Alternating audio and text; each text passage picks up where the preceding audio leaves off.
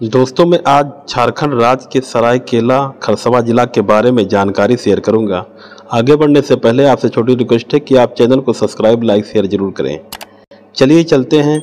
सरायकेला, खरसवा जिला के बारे में जानते हैं।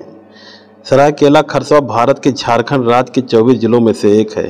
इस ज़िले का मुख्यालय सरायकेला, खरसवा में स्थित है।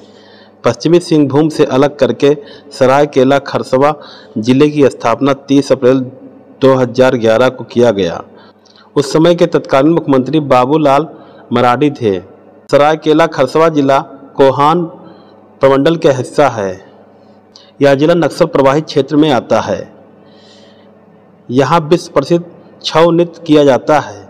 सरायकेला, खरसवा की प्रमुख नदियाँ स्वर्णरेखा नदी खरकई नदी, करकोरी नदी प्रमुख है। सरायकेला खरसवा जिला के अंतर्गत तीन अनुमंडल, चौदह पुलिस स्टेशन, नौ प्रखंड, तीन विधानसभा क्षेत्र 132 पंचायत और कुल गाँवों की संख्या ग्यारह है।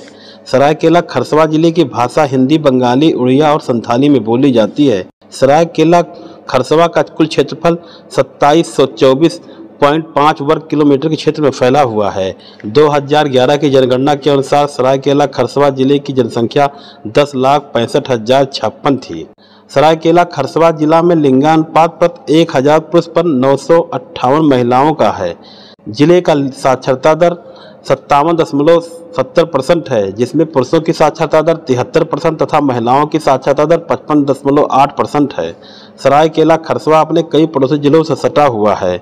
इस जिला के उत्तर, पश्चिम में रांची जिला, उत्तर, पूरब में पश्चिम बंगाल के ज़िले, दक्षिण पूर्व हिस्सा में पूर्वी सिंहभूम जिला, दक्षिण में उड़ीसा राज्य के ज़िले, दक्षिण पश्चिम में पश्चिमी सिंहभूम जिला तथा पश्चिम में खूंटी जिला स्थित है।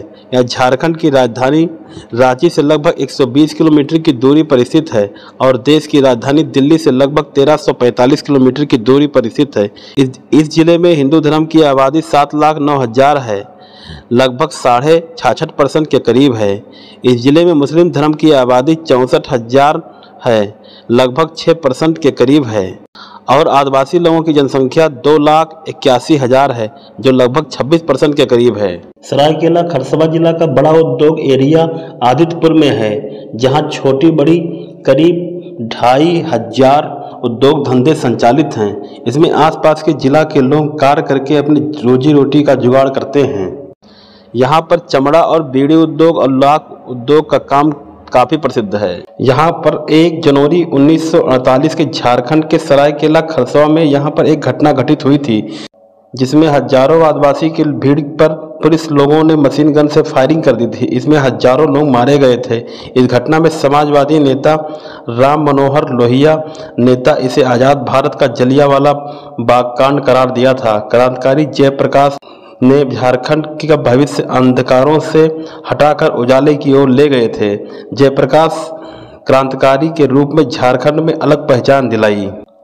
खरसवा ज़िले में कई पर्यटन स्थल, धार्मिक स्थल बने हुए हैं। यहाँ का आकर्षी मंदिर कुकड़ू प्रखंड में जाएँगे तो शिव मंदिर, रामनगर प्रखंड का सीधा डैम और चाडिल के पलना डैम यहाँ के प्रमुख पर्यटन स्थल प्रसिद्ध हैं।